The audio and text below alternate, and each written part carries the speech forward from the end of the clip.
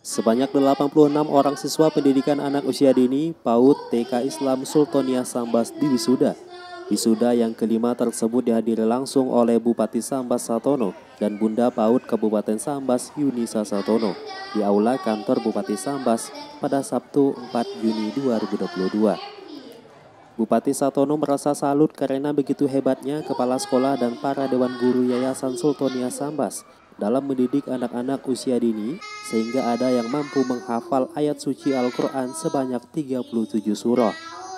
Bupati Satono mengatakan PAUD TK Islam Sultonia Sambas merupakan sekolah bagi anak usia dini yang menerapkan sistem pendidikan keagamaan di mana anak-anak usia dini diberi bekal agar menjadi insan yang familiar dengan Al-Quran, soleh dan soleha. Bupati Satono meminta Yayasan Sultonia Sambas tidak hanya sekedar membanggakan jumlah siswa yang banyak, tapi juga mampu mempertahankan kualitas pendidikan yang ada di TK Islam Sultonia Sambas.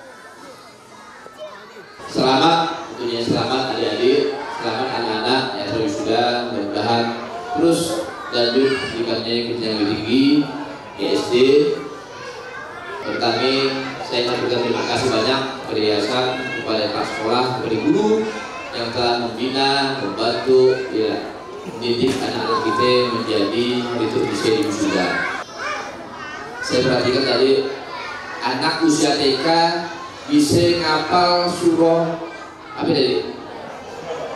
An-Naba. An-Naba surahnya cukup panjang 42 ayat. Yang bahagia dipanggil ditanya kurosa siapa yang paling bahagia? Siapa yang paling bangga? Bupati yang paling bahagia paling bangga. Ini ada anak usia lima tahun enam tahun banyak apal surah-surah pendek dalam Al-Quran Al-Karim. Tepuk tangan sekali ya ya. Menurutnya hal itu akan menjadi nilai tambah bagi Yayasan Sultonia Sambas daripada sekolah-sekolah lain. Bupati Satono mengingatkan di dalam dunia pendidikan ada tiga pilar utama yang sangat penting, Pertama murid itu sendiri, ketua dewan guru dan ketiga orang tua. Dinas Kominfo Kabupaten Sampas melaporkan.